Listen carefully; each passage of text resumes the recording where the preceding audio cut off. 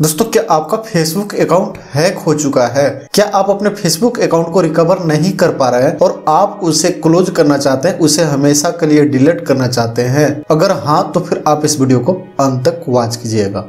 दोस्तों, जब हमारा फेसबुक अकाउंट हैक हो जाता है या फिर किसी के द्वारा हैक कर लिया जाता है और हम काफ़ी परेशानी के बाद भी अगर उसे रिकवर नहीं कर पाते तो हमारे मन में कहीं ना कहीं डर बना रहता है कि उस अकाउंट का जो हैकर है, उसे कहीं मिसयूज न करे। दोस्तों, अगर आपकी फेसबुक अकाउंट किसी ने हैक कर लिया है और आप उसे रिकवर नहीं कर पा रहे हैं तो वो आपके अकाउंट को मिसयूज कर सकता है। अगर उस अकाउंट से कुछ भी गलत करता है तो फिर ब्लेम आप पे होगा, पुलिस आपको पकड़ेगी। तो उससे बचने के लिए आपको क्या करना होगा कि अगर आप उस अकाउंट को रिकवर बिल्कुल नहीं कर पा रहे तो आप उस अकाउंट को हमेशा के लिए डिलीट कर दीजिए। और कैसे डिलीट करेंगे, इसके लिए हम ओपन करते हैं अपने फेसबुक ऐप को। दोस्तों, जब आपका फेसबुक अकाउंट हैक हो जाए तो आपको क्या करना होगा कि आप एक दूसरा फेसबुक आईडी बना लीजिएगा।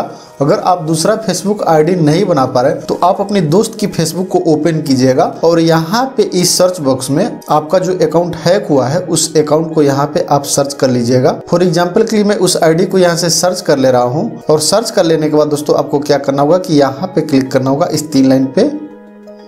और यहाँ पे आपको एक ऑप्शन मिल जाता है फाइंड सपोर्ट और रिपोर्ट प्रोफ़ाइल यहाँ पे आपको क्लिक करना होगा।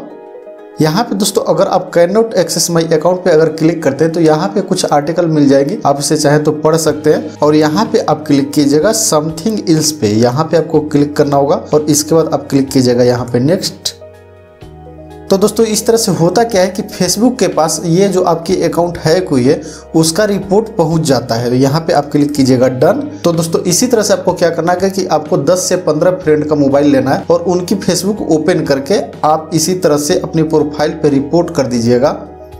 तो जब काफ़ी रिपोर्ट पहुँचता है 10 से 15 लोगों का एक ही आईडी पे जब रिपोर्ट पहुँचता है तो फेसबुक की टीम उसको रिव्यू करती है, उसे एक सप्ताह से दो सप्ताह के अंदर अंदर उस अकाउंट को डिलीट कर देती है परमानेंटली डिसेबल कर देती है।